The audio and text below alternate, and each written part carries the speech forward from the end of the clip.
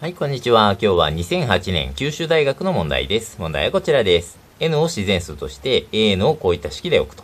まあ、ただし、角は弧度法を用いていると。で、括弧1、括弧2、括弧3のお事柄を示せといった問題ですね。まずは括弧1なんですが、a1 をこれだということを示せということで、n を1にすれば OK。n を1にすると、コサイン 2× コサイン1ですね。n を1とすると、a1 っていうのはコサイン 2× コサイン1ですよと。で、これが、要するにこれになるよってことを示したいと。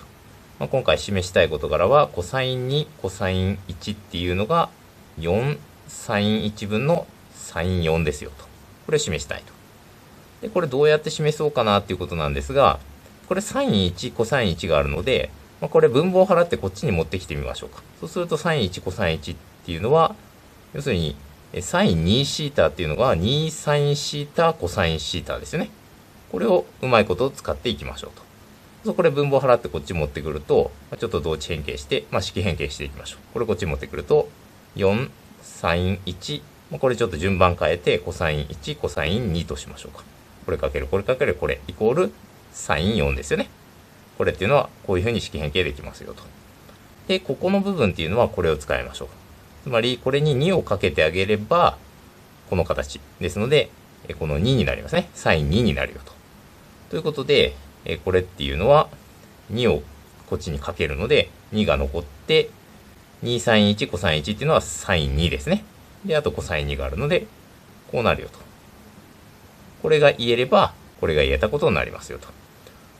で、またここっていうのは、この形ですね。2サイン2、コサイン2ですから、えっ、ー、と、サイン4になりますね。この2の2倍になるわけですから、サイン4。ということで、サイン4が言えているので、これは成立しますよと。これが成立したんで、遡っていけばこれが成立するということで、まずは括弧1、A1 がこれだということで示すことができました。で、続いて括弧2です。まあ、括弧2も同様の形ですので、同じようにやっていきましょうか。これは AN がこれを示したいよと。で、AN はこの式ですから、つまり、コサイン2の n 乗かけ、コサイン2の n-1 乗かける、点々点のコサイン2かけるコサイン1ですね。これが AN ですよと。イコール、これを示したいと。2の n たす1乗かける、サイン1分のサイン2の n たす1乗。こうなることを示したいと。まあ、これも同様に同値変形しましょう。これ分母を払ってこっち持ってくると、2の n たす1乗サイン1ですね。で、これまた順番入れ替えて、コサイン1をこっち側に持っていきましょうか。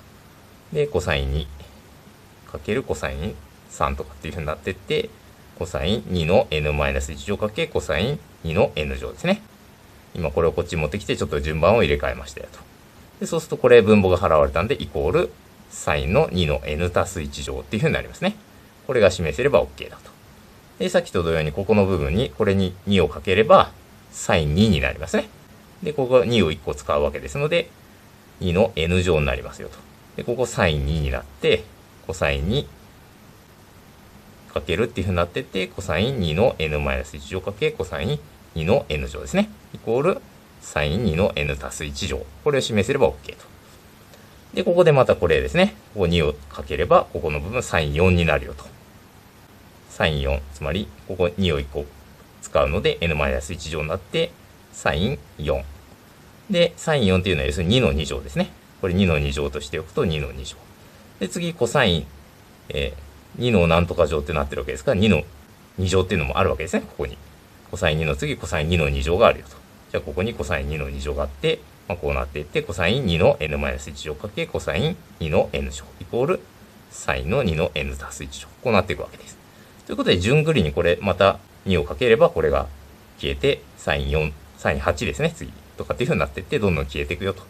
これを繰り返していけば、結局、どうなるかっていうと、えっ、ー、と、要するにここの指数の部分、これ足してあげれば、n 足す1になるわけですね。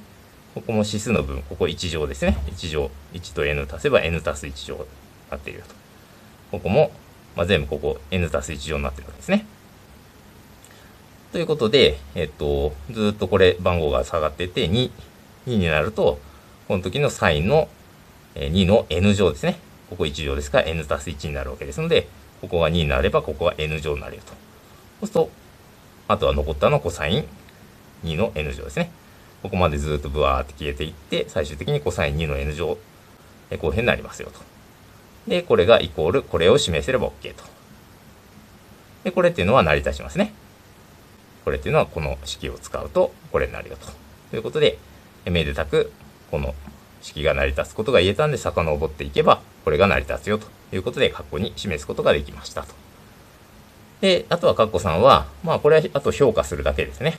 括弧さんは、えっ、ー、と、an っていうのがこれだってことなんで、要するに、サインの2の n たす1乗のサイン1分のサインの2の n たす1乗っていうのが、2の n たす1乗分のルート2より小さいよ。これを示したいということですね。でこれは、えっ、ー、と、あ、ここ違いますね。2の n たす1乗、サイン1分のですね。これ。これっていうのがこれより小さいよと。そう、ここが、あの、消すことができますよね。2の n たす1乗、両方含まれているので、かければこれ消えるよと。つまり、これを示したいよということであります。で、あとはサイン1っていうのを評価してあげれば、まあ、こっちのサインの2の n たす1乗っていうのは n が増えていけばどんどん数大きくなりますけど、まあ、プラスかマイナスになるか分かりませんけど、上から評価したいってことですので、サインの値っていうのは結局これ1以下ですね。これ1以下ですから、あとはこの値を評価できれば、これがルート2より小さいようが言えそうだなと。で、サイン1を評価しましょう。で、1っていうのは、今これ弧度法ですので、えっと、だいたいいくつぐらいかっていうと、4分の π。これは4分の π は3.14いくつですので、これは1より小さいですね。これよりは大きくて1は。3分の π より小さいですね。これ3.14、3分の3.14いくつですから、この範囲でにありますよと。で、サイン1っていうのは結局、サイン3分の π より小さい。サイン3分の π っていうのは2分のルート3。で、サイン4分の π は ルート2分の1ですね。こうなるよと。で、これの逆数ですね。サイン1分の1ですから、これが分母に来てるわけですから、これ逆数にすると、こうなるよと。逆数にすると、これ不等号の向き変わりますよね。こうなって、逆数にしてルート2。これ逆数にしてルート3分の2。これは要するに、正の値ですから、例えば2、3、4であれば、これ逆数にしたら3分の1、2分の1、4分の1ですね。正の値っていうのは、あの逆数を取ると不等号の向き変わりますね。これが一番大きくなる。次これ、次これですね。